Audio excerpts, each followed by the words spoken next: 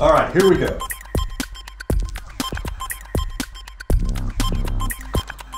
Hi, I'm David Lyle, and welcome to the Informatica Chalk Talk series.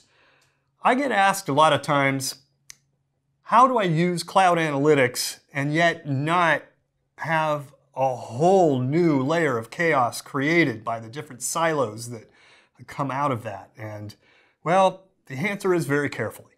Uh, there's a lot of advantage that can be gained by utilizing the advantages of cloud, but due to the speed, the agility, the ease with which things can happen, that's right, chaos can result very quickly. So it's a good question. Let's start with our typical environment, uh, what we've been used to in the world of data warehousing and analytics. I've got my data sources. I go through my data integration, data quality, however you've architected this, into our on-premise data warehouse. Now, this is a radically oversimplified picture, of course, and you've done this in a way that is far more detailed and appropriate. The point is, as we move into the cloud, the important thing to realize is that even though this has been what we've been shooting for over the years, the fact is data silos have been sprouting up over the years anyway, right? Even before the cloud came along, there have always been silos, right?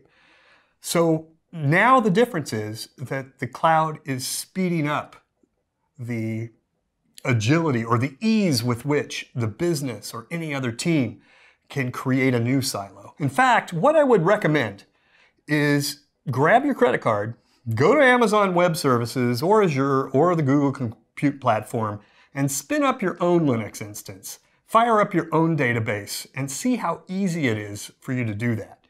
You can see that this really lowers the barriers to how quickly somebody could create a new silo. So we have to get out in front of this. If we don't, you can imagine what's going to happen. So the first thing to really get experience with is to start using some of the cloud integration services that are out there. Some of the integration platform as a service or iPaaS capabilities that are out there. Now, what this means is you've got a new user interface that has been rethought and radically simplified, put out on the cloud, so that you can now do things in a very wizard-like fashion much faster than you used to be able to using on-premise enterprise software kinds of tools. The fact then is these are the kinds of things as well that your line of business or uh, business or data analysts have available to them as well. So you need to know this um, to know how fast that they can do things. But these are also tricks that you can have in your toolkit. There are many things that can be done with these iPaaS tools that can frankly replace some of the things that have been done with on-premise tools in the past.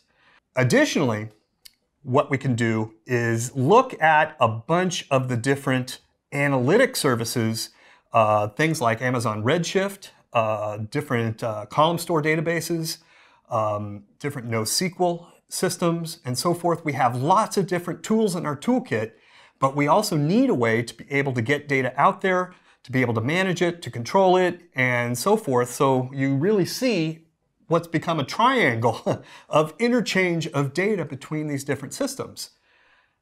The important thing is that you're able to see what's going on. That you have a constant ability to have that transparency of the metadata of who's doing what, when they're doing it, what they did, how long it took, anything that went wrong. You want that full audit trail of what's going on.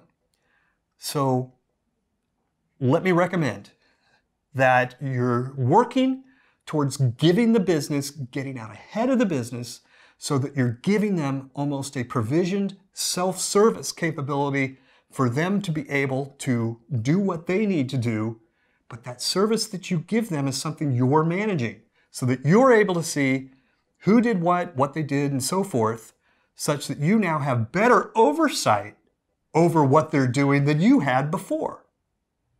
So, how do I take advantage of cloud services without losing control and creating more chaos? I do it by looking at iPaaS and cloud integration services and provisioning that out to the business.